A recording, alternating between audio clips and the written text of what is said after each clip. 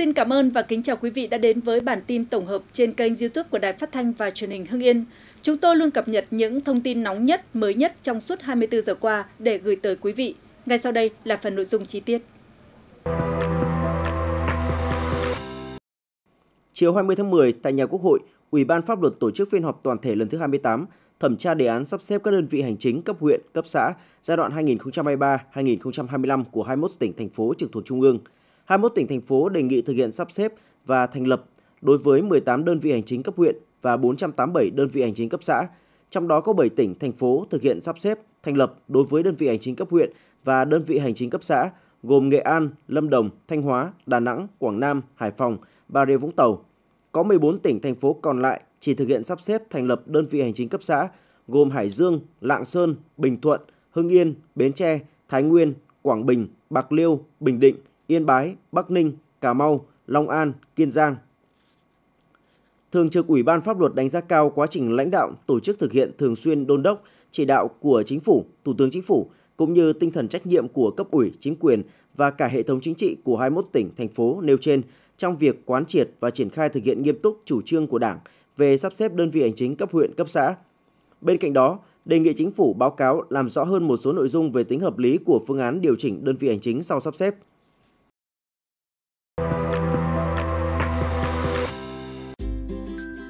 Theo phê duyệt quy hoạch tỉnh Hưng Yên thời kỳ 2021-2030, tầm nhìn đến năm 2050, phương án sắp xếp đơn vị hành chính cấp huyện, cấp xã cụ thể như sau. Tiếp tục thực hiện các quy định tại Nghị quyết số 37 NQTVK ngày 24 tháng 12 năm 2018 về việc sắp xếp các đơn vị hành chính cấp huyện và cấp xã, kết luận số 48 KL TVK ngày 30 tháng 1 năm 2023 của Bộ Chính trị,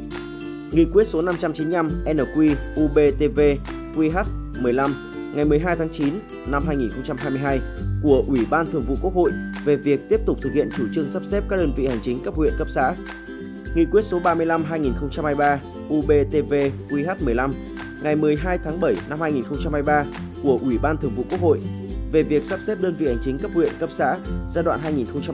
2023-2030, Nghị quyết số 117 NQCP ngày 30 tháng 7 năm 2023 của Chính phủ ban hành kế hoạch thực hiện sắp xếp đơn vị hành chính cấp huyện, cấp xã giai đoạn 2023-2025, phạm vi danh giới, tên địa lý và triển khai sắp xếp cụ thể các đơn vị hành chính cấp huyện, cấp xã sẽ được thực hiện theo quyết định của cấp có thẩm quyền. Giai đoạn 2023-2025 thực hiện sắp xếp 42 đơn vị hành chính cấp xã để thành lập mới 20 đơn vị hành chính cấp xã, giảm 22 đơn vị hành chính cấp xã.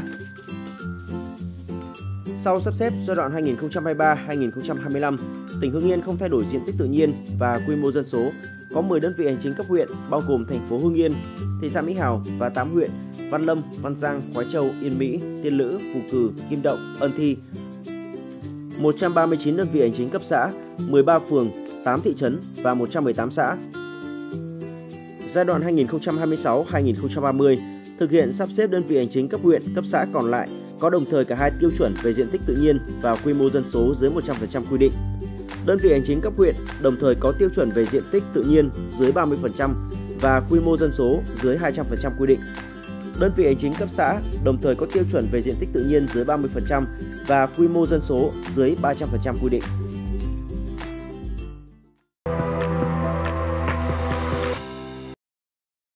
Vừa qua, Phó Thủ tướng Thường trực Chính phủ Nguyễn Hòa Bình chủ trì cuộc họp trực tiếp kết hợp trực tuyến với lãnh đạo một số bộ ngành địa phương về xử lý vướng mắc trong quá trình hướng dẫn thực hiện sắp xếp đơn vị hành chính cấp huyện, cấp xã giai đoạn 2023-2025. Báo cáo tại cuộc họp, Thứ trưởng Bộ Kế hoạch và Đầu tư Trần Quốc Phương cho biết thực hiện nhiệm vụ được giao, Bộ Kế hoạch và Đầu tư đã có văn bản gửi Ủy ban nhân dân các tỉnh thành phố trực thuộc trung ương đề nghị tổng hợp nhu cầu kinh phí từ nguồn ngân sách trung ương để hỗ trợ đầu tư xây dựng cơ bản, phục vụ sắp xếp đơn vị hành chính của các địa phương giai đoạn 2023-2025. Đến nay có 54 trên 63 tỉnh, thành phố trực thuộc Trung ương có văn bản gửi Bộ Kế hoạch và Đầu tư. Hầu hết báo cáo của các địa phương đều xin hỗ trợ một lần từ ngân sách Trung ương theo đúng định mức về hỗ trợ đơn vị hành chính cấp huyện, cấp xã giảm sau sắp xếp theo quy định tại khoản 2, điều 22, Nghị định số 35/2023 UBTV QH15 của Ủy ban Thường vụ Quốc hội Tổng kinh phí từ nguồn ngân sách trung ương cần thiết để hỗ trợ thực hiện sắp xếp đơn vị hành chính của các địa phương là 281,5 tỷ đồng cho 36 địa phương, trong đó kinh phí thực hiện sắp xếp đơn vị hành chính cấp huyện là 140 tỷ đồng, tương ứng với 7 đơn vị hành chính cấp huyện giảm. Kinh phí thực hiện sắp xếp đơn vị hành chính cấp xã là 141,5 tỷ đồng, tương ứng với 283 đơn vị hành chính cấp xã giảm. Những khó khăn vướng mắc của các địa phương hiện nay là nguồn vốn kế hoạch đầu tư công trung hạn giai đoạn 2021-2025 của các địa phương đã được phân bổ hết cho các nhiệm vụ, dự án cụ thể. Theo báo cáo của các địa phương, số vốn hỗ trợ chủ yếu là để cải tạo, sửa chữa hạ tầng, nâng cấp tài sản, trang thiết bị. Trường hợp bổ sung vào kế hoạch đầu tư công trung hạn 2021-2025 thì phải thực hiện trình tự, thủ tục theo quy định của luật đầu tư công. Thời gian thực hiện trong giai đoạn 2021-2025 chỉ còn hơn một năm nếu thực hiện các thủ tục và giải ngân. Ngân sách trung ương hỗ trợ sắp xếp đơn vị hành chính theo quy trình luật đầu tư công thì rất khó khăn, không hoàn thành được mục tiêu đề ra theo nghị quyết số 35. Mức kinh phí hỗ trợ từ ngân sách trung ương đối với mỗi đơn vị hành chính cấp huyện, cấp xã theo quy định tại khoản 2, điều 22, Nghị định số 35/2023 ubtvqh15 còn hạn theo quy định tại khoản 2, điều 22, Nghị quyết số 35. Mức kinh phí hỗ trợ từ ngân sách trung ương đối với mỗi đơn vị hành chính cấp huyện, cấp xã theo quy định tại khoản 2, điều 22, Nghị quyết số 35/2023 UBTVQH15 còn hạn chế sẽ không đảm bảo so với nhu cầu chi thực tế.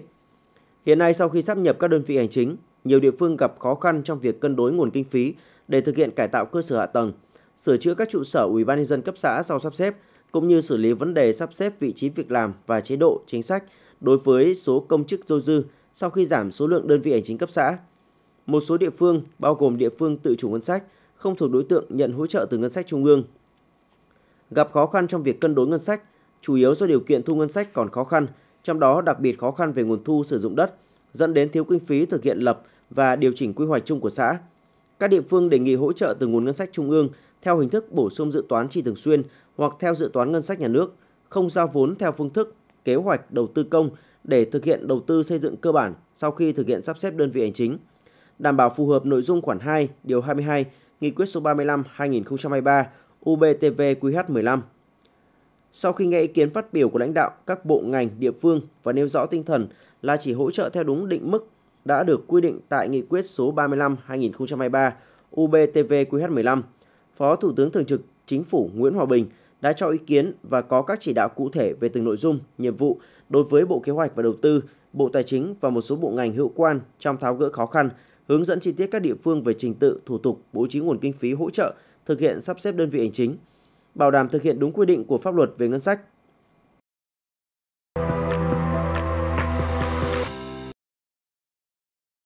Sau sắp nhập huyện, xã, khi thực hiện sắp xếp đơn vị hành chính, tài sản dôi dư là rất lớn. Ngoài tháo gỡ vướng mắc căn cốt về cơ sở pháp lý, vấn đề quan trọng nằm ở các địa phương. Theo Bộ trưởng Bộ Nội vụ Phạm Thị Thanh Trà, giai đoạn 2019-2021, khi tiến hành sắp xếp đơn vị hành chính cấp huyện, cấp xã, cả nước có dôi dư tổng số 864 trụ sở nhà đất. Đến nay mới giải quyết được 349 trụ sở, tương đương trên 40%. Giai đoạn 2023-2025 sẽ có 50 đơn vị cấp huyện và 1.243 đơn vị cấp xã thực hiện sắp xếp đợt này. Do vậy, số tài sản, nhà đất dôi dư vì thế cũng rất lớn. Theo Bộ trưởng Phạm Thị Thanh Trà, đến thời điểm này, Thủ tướng Chính phủ đã ban hành hai nghị định tháo gỡ vướng mắc căn cốt nhất cho địa phương trong việc giải quyết tài sản dôi dư. Tuy nhiên, theo nữ Bộ trưởng, cơ sở pháp lý là một vấn đề, quan trọng là các địa phương. Bộ Nội vụ cũng đã chủ động tham mưu Thủ tướng Chính phủ ban hành quyết định số 139 năm 2024 để khẩn trương triển khai các nhiệm vụ liên quan đến quy hoạch đơn vị hành chính các cấp và đã phân công rất cụ thể đối với từng bộ ngành, từng địa phương. Bà Phạm Thị Thanh Trà mong muốn có sự phối hợp chặt chẽ của các địa phương để làm căn cứ pháp lý cơ bản, thực hiện ổn định việc hoàn thiện đơn vị hành chính các cấp trong giai đoạn tới.